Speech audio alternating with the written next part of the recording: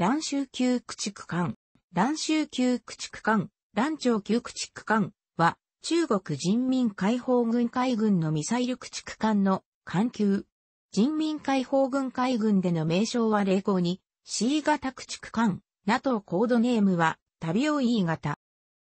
基本的には、先行して建造された0後に B 型の設計をもとに、国産の HHQ-9 艦隊防空ミサイルシステムを搭載したものであり、特にアクティブフェーズドアレイ、アエサアンテナを環境構造の4周に貼り付けた外見から周回イージスとも通称される。1995年の第3次台湾海峡危機の際にアメリカ海軍の圧倒的な能力を見せつけられた人民解放軍海軍は国産駆逐艦の性能限界を痛感した。これを受けて1999年から2000年にかけてロシア製の 956E 型駆逐艦、ソブレメンヌ E 級2隻を緊急導入。2005年より 956EM 型2隻を追加配備するとともに、空母整備計画も視野に、優れた対空戦能力を有するミサイル駆逐艦の整備が計画されるに至ったとみられている。1990年代中期の DDG 整備計画着手直後は多艦級の少数建造方針が採択されており、本級の建造もこの一環となっている。まず、956E 型の収益開始と同年の1999年、956E 型と同系列の中距離艦対空ミサイルシステムを搭載した例後に B 型駆逐艦、公衆級が寄港された。これと並行してアメリカ海軍のアーレーバーク級ミサイル駆逐艦を高く評価した人民海軍海軍は、これに反を取った国産艦の研究開発に着手したものと考えられている。これは、イージス関連情報に関する情報活動も含めた国家的プロジェクトとして進められた。これによって開発されたのが本級であり、まず2002年から2隻が建造され、2004年から2005年にかけて収益した。この2隻をプロトタイプとして徹底的に性能、運用試験を実施し、これによって得られた不具合対策を連続的に適用するというスパイラルモデルによる開発が進められたものと考えられている。そして2009年よりこの開発成果を踏まえてさらに4隻が追加建造され、これらは2012年より順次に収益を開始した。また2011年からは全面的な発展型である例後、2D 型駆逐艦の建造が開始されてり、以後の整備はこちらに移行している。船体と指揮官については、おおむね、先行して建造された例後に B 型駆逐艦、旅用 I 型が踏襲されている。線形は中央先導型、先導と主戦体でナックルラインを形成している。艦首部にブルワークが設けられているのも同様だが、VLS を保護する必要から、例後に B 型よりも延長されている。また、環境構造物は4周にアクティブフェーズドアレイ、あえさアンテナを重複ける必要から一層高くなっている。アンテナの配置の必要上、正横方向と後方に向けた窓がなく、これを補うため環境上に潜望鏡が設けられている。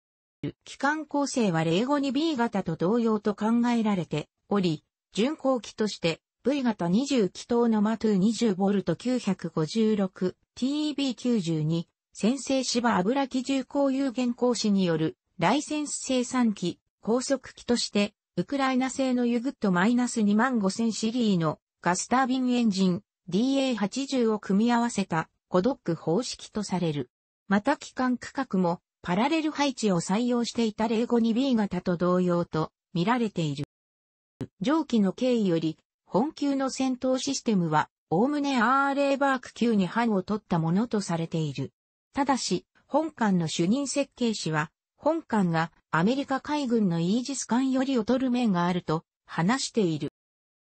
2004年7月の海軍工作会議で、全プラットフォーム搭載のセンサ情報をネットワークで共有し、艦隊全体で脅威に対処するという海軍装備総合修正計画が作成された。これに応じて開発された戦術情報処理装置が ZKB、ZBJ シリーズである。開発は2006年までに完了し、同年2月の海軍工作総括会議で、すべての作戦艦艇に、当該システムを装備と全軍に発令された。本級の初期建て増艦では、この方針に基づいて開発された H、ZKB 戦術情報処理装置が搭載された。これは海軍編隊作戦式システムと称されており、一説には ZKJ-5 ベースとして西側のリンク16に準じた地図統合情報伝達システムや TJN-906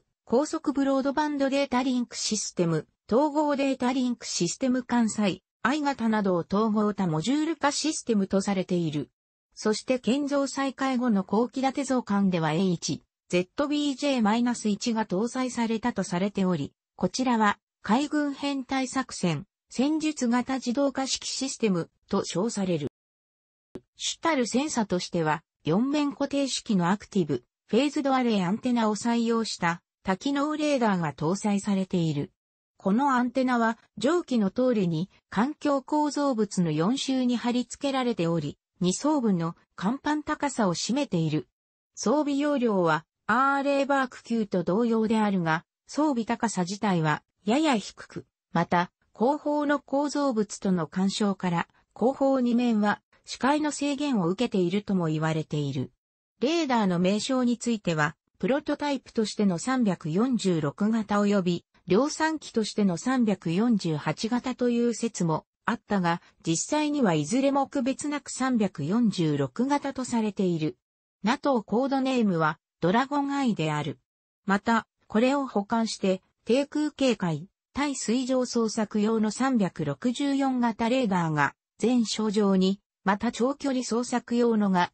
水上に備えられている。ソナーはフランス製 DAV-23 の3歳版とされる SJD-8、9を監視装備式に搭載する。上記の経緯より、本級の最大の特徴が HHQ-9A、海航機 9A 艦隊防空ミサイルシステムの搭載である。発射機としては、6セルの円筒型 VLS を用いており、全甲板に6機、後部上部構造物上に2機を備えている。これは、人民解放軍海軍で初の VLS であるが、セル下部から高圧ガスでミサイルを打ち出した後に空中でロケットモーターに点火するというコールドローンチ方式を採用している。発射されたミサイルは中間指令誘導による補正を受けつつ、完成誘導で飛翔し、TVM 方式で目標に接近する。また、終末工程では、アクティブレーダーホーミング、R 誘導方式も用いられる。最大射程は 120km 以上とされる 200km との説もある。また、艦隊艦ミサイルも新型の有事 -62 とされて4連装発射機を2機、ミズンとヘリコプター格納庫の間に装備している。これはターボジェットエンジンによって最大射程 400km 以上を発揮切る。下記完成レーダーは 052B 型で有事 -83 用として搭載されたのと、同じロシア製の MR-331 ミネラル ME、ナト名、バンドスタンドとされており、環境上に一機備えている。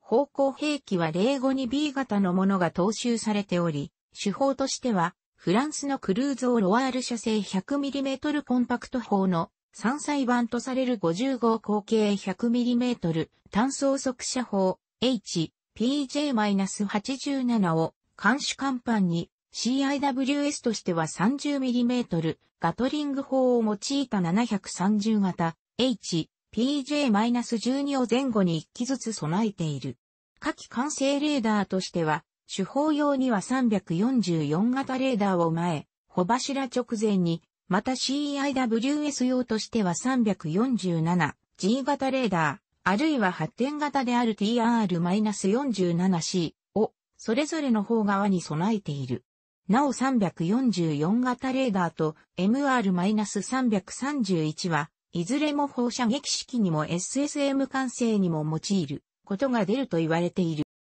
対戦兵器としては U-7 単魚雷のための3連装単魚雷、発射管を両舷に備えているほか、後部上部構造物の両舷に2機ずつ設置された18、連装で濃い発射機も対戦ロケット砲としての性格を備えている。